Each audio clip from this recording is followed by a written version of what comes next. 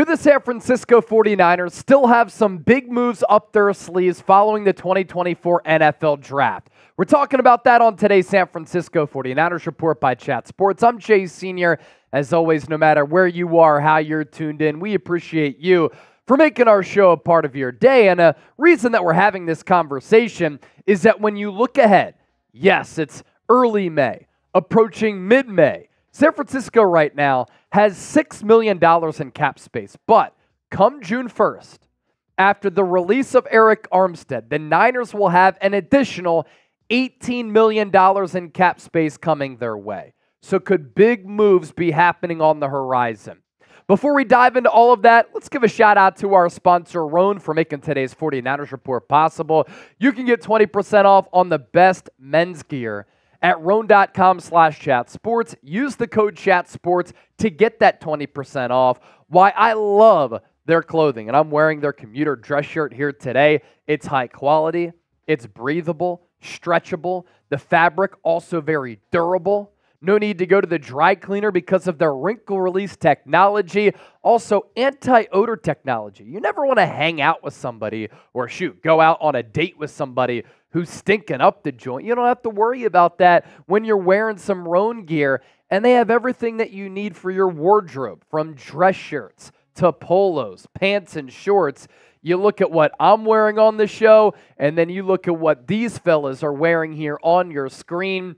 Everything is high quality, and you can use it in a variety of different instances from the golf course to the office, getting some drinks with your friends, out on a date hanging with some family members. You just want to look good, feel good, because as you know, the real ones who tune into the program, that is the motto right there. You know, it's also the motto getting 20% off your order. Rhone.com slash chat sports. We're going to put that link down below in the show notes as well as in the description of this video. We appreciate Rhone for being a longtime supporter of everything that we do here at Chat Sports and on the 49ers Report. So, to reset, Right now, San Francisco has $18 million in cap space that is going to coming their way, going to be coming their way, excuse me, June 1st. And that's after the release of Arik Armstead. Sometimes the NFL puts these types of rules in place so that San Francisco can't really manipulate the cap and make the salary cap seem fake to everybody out there. For instance, they release Arik Armstead going into free agency, and then they get that $18 million. It gives them somewhat of an unfair advantage. But if you make the team wait, then they don't have that money at their disposal, and it's not a way to quote unquote beat the system. So San Francisco right now has $6.3 million exactly. And what moves could the Niners? have in store as you look ahead as we get closer and closer to the start of training camp at the end of July. And this Niners roster still has some question marks. They still have some holes that they could fulfill. So let's go position by position here. If the Niners wanted to go the free agency route, and we'll talk trade stuff a little bit later, what are those holes on this Niners roster? As I've said, I think tight end two is a little bit of a problem. George Kittle, best tight end in the National Football League in 2023, his first 1,000 yard season since 2019. But your backups as of right now are Cam Latu and Brayden Willis. And then you have Eric Saubert from the Houston Texans, but he's a journeyman tight end for a reason. If the Niners wanted to go the tight end route, they're not going to spend a lot of money on that position.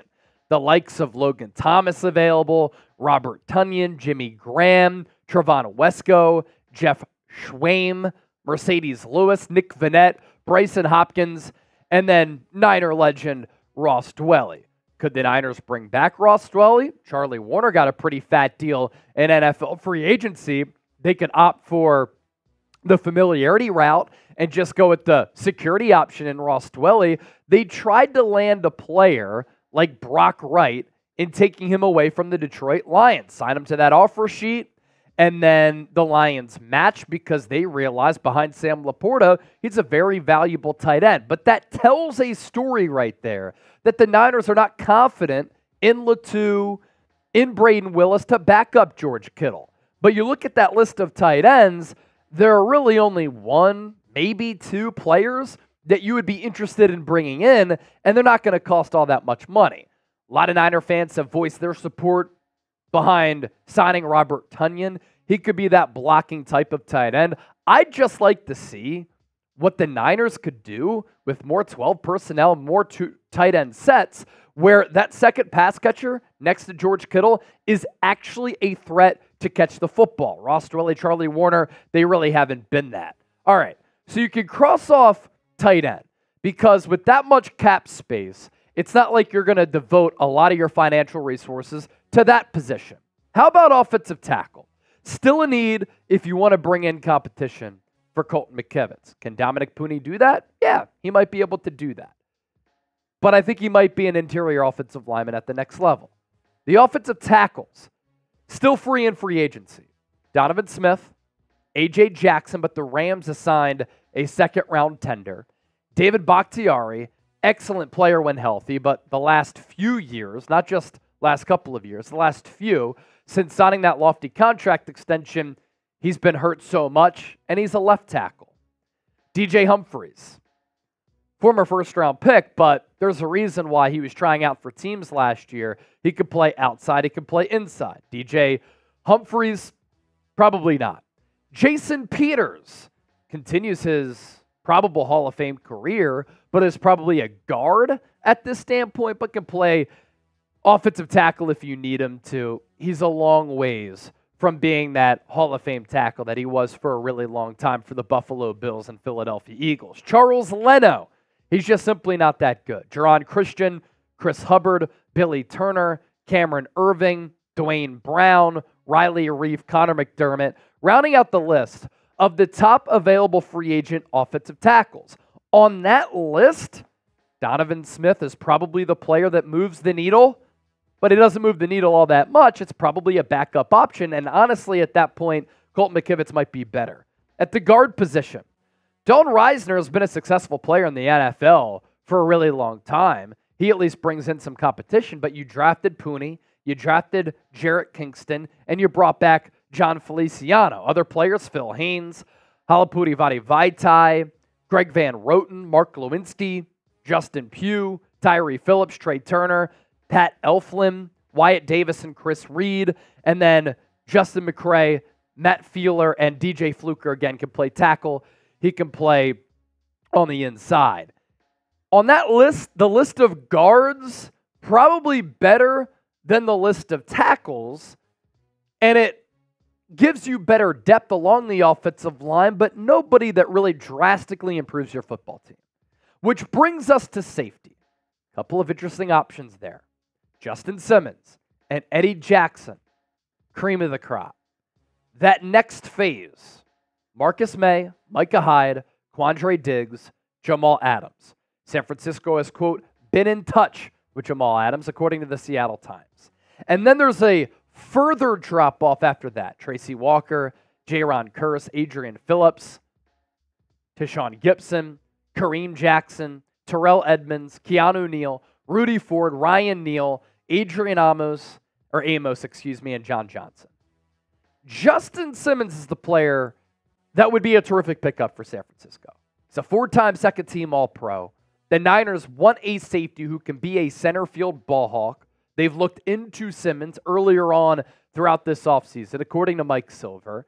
And if they're looking for that center field ball hawking safety who can play deep against the pass and thrive in that area, Justin Simmons is that. He's played in a variety of defenses and for great defensive coordinators, including one, Vic Fangio, who was the DC under Jim Harbaugh with the Niners.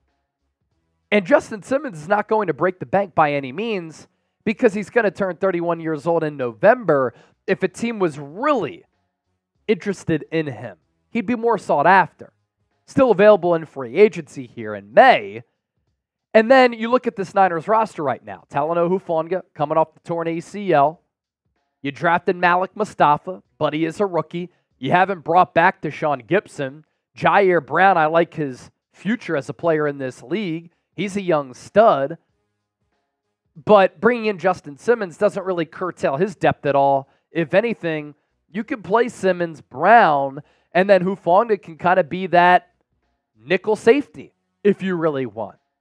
And another play on that list is Eddie Jackson, who, again, older, aging, injury concerns over the last couple of years, but was an all pro, first team all pro back in 2018. A good 2019. Last couple of years, he's been banged up, but can he have a resurgence late in his career? Kind of like a Tashaun Gipson has. That's the player that I would look at in free agency the most Justin Simmons. And then Eddie Jackson after that. If the move is not external for San Francisco, what could it be? Well, there are a couple of players on this roster who are due for contract extensions. That money could be allocated to Brandon Aiyuk. And when it comes the Niners' way June 1st, maybe the contract talks begin to heat up at that point. Outside of Brandon Aiyuk, Deommodore Lenoir up for a contract extension. So too is Talanoa Hufanga, Charvarius Ward, Fred Warner, and Brock Purdy, although I don't think that happens until next year. But if the Niners want to surprise everybody and get ahead of the ball and get him at good value, because if he plays in 2024 like he did in 2023, he could cost 50 million compared to now, which could be about 40 million dollars. So there's that.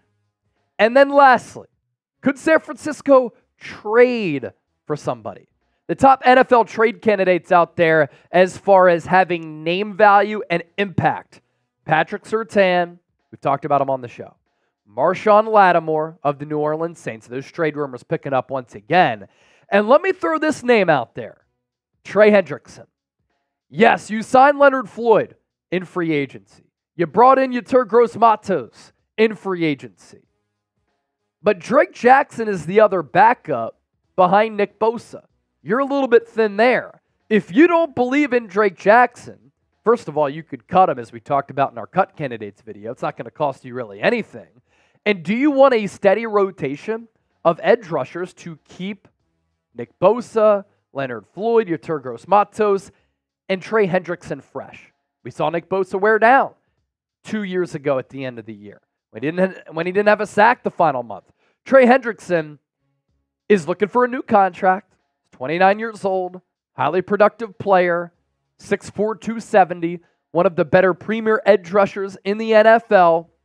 And over his last four years, 13 and a half sacks, 14 sacks, 8 and 17 and a half.